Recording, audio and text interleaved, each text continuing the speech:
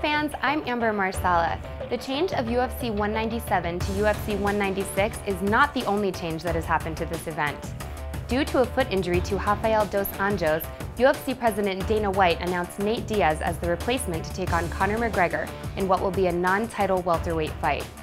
Conor McGregor's goal of becoming the UFC's first active two-weight division champion will be put on hold.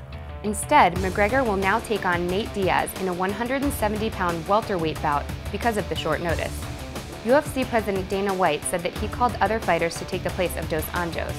Former featherweight champion Jose Aldo declined due to the short notice, and Frankie Edgar also declined citing injury. That left Nate Diaz, who is 2-2 in his last four fights. Diaz defeated Michael Johnson in his last outing by unanimous decision and lost to lightweight champion Dos Anjos before that. One thing that Diaz will always bring is his talk. Diaz has never been one to hold back, and he called out McGregor in his last fight. Yeah, Conor McGregor, you're taking everything I work for, mother. I'm gonna fight your.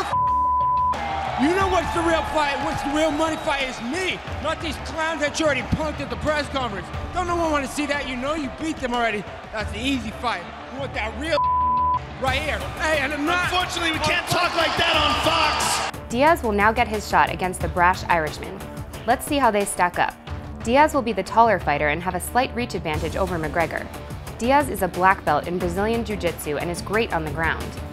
While he doesn't have the same takedown offense as Dos Anjos, Diaz is a big threat on the ground. He has good striking, although he can be flat-footed when it comes to his stand-up game. Diaz will definitely need to utilize his reach and weight to his advantage against McGregor, and also get him on the ground to try to submit him. As for McGregor, he is now jumping up another weight class and fighting Diaz at welterweight. McGregor is on a 15-fight win streak, including his last five by KO and TKO. He is coming off his incredible 13-second knockout of Jose Aldo to claim the featherweight title. McGregor will bring the talk to go along with the great striking and angles he utilizes. McGregor will have the better stand-up game, but will have to be very careful not to go to the ground as that is one of Diaz's strong points. The trash talk was brought in their recent press conference announcing the fight, as well as McGregor's prediction on how he thinks the fight will end. He's he's like a he's like a little cholo gangster from the hood, but at the same time, but at the same time he coaches kids jiu-jitsu on a Sunday morning and goes on bike rides with the elderly. He makes gun signs with the right hand and animal balloons with the left hand. So I, you're a credit to the community. Fuck you. Fuck, fuck you. I don't give a fuck what you say, motherfucker. Yeah, thugging on mine, motherfucker. What you got? I feel his repetitive foot patterns and his pull motions are too readable, too predict predictable. He will be too slow in there. The speed will stifle him. His soft body and his lack of preparation, he will not be able to handle the uh, ferocity. So, end of the first, I feel he will be put away.